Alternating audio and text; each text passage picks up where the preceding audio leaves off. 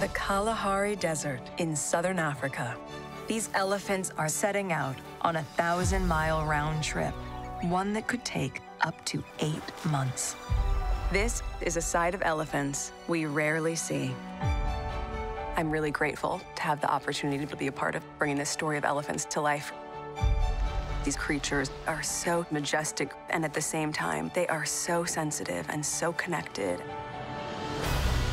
I've been very lucky to be able to have hands-on experience with elephants in their natural habitat. When you spend time connecting to them and the other wildlife, you really understand we have a role to play in their preservation and their safety. We see in this film just how remarkable they are. Their memories are amazing, their close connection of the herd, their protectiveness of their young. I think they're a lot more like us than they are different.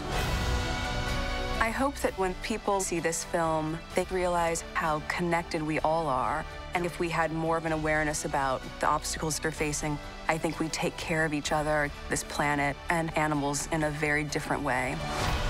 That's why it's really important for me to be able to help tell that story.